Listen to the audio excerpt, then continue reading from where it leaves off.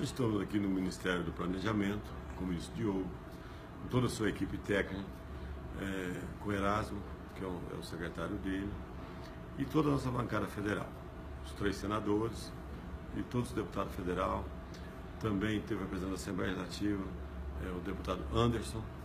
É, eu também teve do Judiciário, né, desembargador, né, doutor Alexandre, é, do Ministério Público, é, também o nosso procurador de Estado, doutor Luciano.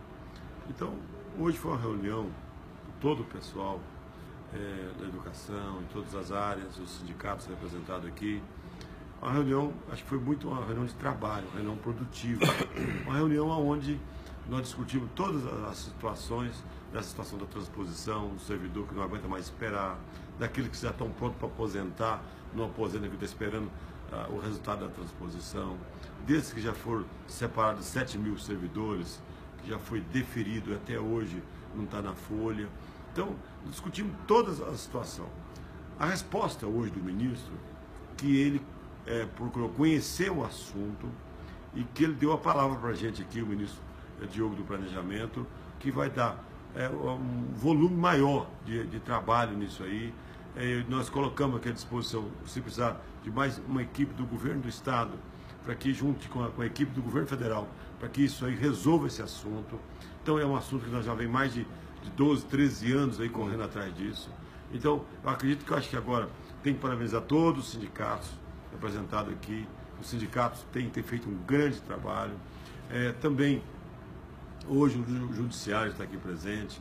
É, e pedimos outra coisa que é hoje esses órgãos, né, que são Assembleia Legislativa, Judiciário, esses órgãos do, do tinha o antigo Beron, todo esse pessoal é, que era desses órgãos ligados ao Estado, que são servidor também do, na época do ex-território, que esse pessoal, igual tem a Amapá e Roraima que fez agora essa PEC, que o governo estude uma maneira para enquadrar todo mundo junto, para não ter, atende Roraima e não atende Rondônia.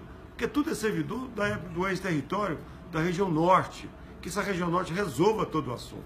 Então o ministro, eu, eu fiz esse pedido para o ministro, e o ministro ficou de estudar esse assunto, para que nessa outra PEC, aonde pega esse, todos esses órgãos aí ligados ao, ao Estado, do, na época do ex-território, que também enquadre todos esses servidores que cabem com essa, essa, situação, que resolva esse problema. Então acho que foi, né, né, no governo Michel Temer, é a primeira reunião que nós temos de, de, com, com esse todo esse povo, nós todos, toda é, a representação que está aqui hoje. Então acho que vai ser um resultado positivo.